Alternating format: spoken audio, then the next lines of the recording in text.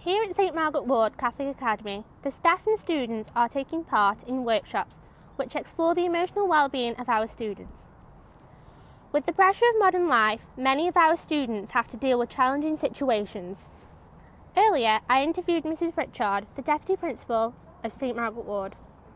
Hello, Mrs Pritchard. Um, today I just want to like I would like to ask you a few questions about health and well-being of the students in our school. Um, the first question, uh, what do you hope the students will get from this day?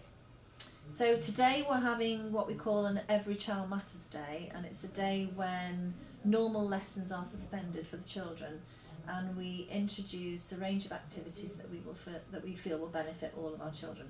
And today's focus um, is focused on um, helping the children to understand the feelings, how to have healthy relationships inside and out of school, how to stay safe, and looking at their emotions and how to deal with sadness, anger, and joy. So we put that day to day together so that children can just focus a little bit more on how they deal with those issues um, outside of the normal curriculum because we feel it's really important to have that opportunity. Um, how do you promote health and well-being um, in students? This year in particular, we have decided that we will have a real drive on raising the awareness for everybody in the community on health and well-being.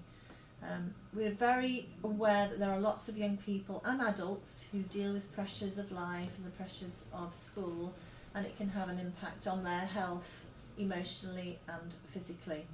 So over the last year, we have got a team together, a health and well-being team, a group of staff, um, and I've also talked to students about it. And we've been looking at how we can promote the subject in this school. So uh, we've been working together on putting a joint policy together. We're looking at how we are training our staff. Uh, so last week, um, seven teachers and support staff went out to gain a Tier 1 qualification, including myself, on raising awareness in mental health. Um, at the moment, we are in a program called Driving the 10 Keys to Happiness, um, and each week the form tutors are focusing on a specific aspect of well-being. So that might be exercise or doing things for others. And so we promote that with the tutors and we ask them to do an activity each week with the children. So we're slowly drip feeding different aspects uh, through assemblies and through discussion uh, raising the awareness with children, and then today is just another um, focus point for that. Um, what advice would you personally give to teenagers? Well, I've just been in two assemblies this morning, uh, working with Year 7 and Year 8, and uh, the focus has been for them about to consider their emotions, um, to think about their actions before they do things, um, to think about the sorts of behaviours they demonstrate, whether that's to other people or for themselves, and most of all, to consider what makes them be safe and be happy. So part of the focus today has been on about their own personal safety and well-being and the pressures that they would have to deal with as a teenager or a young adult. Um, so it's trying to educate and to support and to give them ideas about what to do in those situations. Do we in the school provide support individually to young carers, and if so, how? We do, um, and what we try to do is we try to find out in very sensitive ways who are young carers, and that's probably the biggest issue for us is that, that we're not completely aware of how many of our children actually have to look after um, adults or other siblings in the home.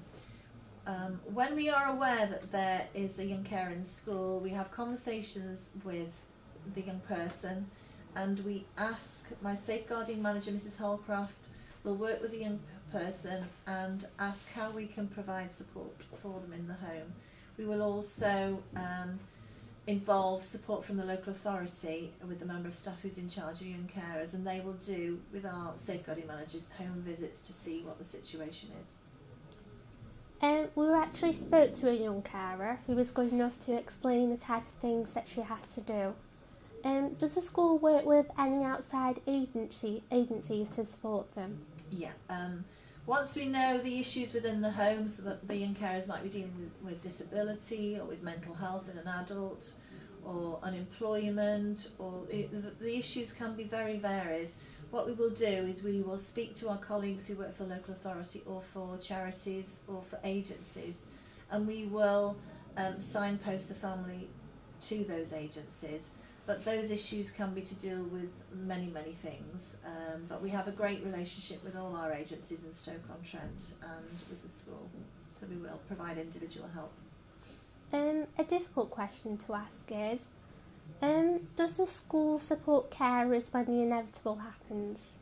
Yes, we would always look to the needs of the individual family first. So in school, what I think St Margaret Ward is particularly good at is to look at how we can support families first before we demand huge expectations on the students. So we would always say that we would provide any support um, in whatever way that we would. So whether that would be having a reduced timetable for the young person, allowing them to leave school early in an evening or to come in late. So we would look at individual ways of supporting the family and the student, perhaps um, introducing different things through the day or different people in the day who might be able to support the child. But we would we would provide individual support. Thank you so much, Mrs. Pritchard. Thank I you, hope Rabiel. you're successful with um, achieving your goal. Thank you, Rabiel. Thank you for the interview. And good luck with your BBC school report today. Thank you. This school is no different to any other school in the country.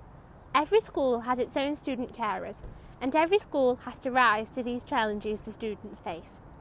We have officially 13 young carers, however, there may be many more who we don't know about.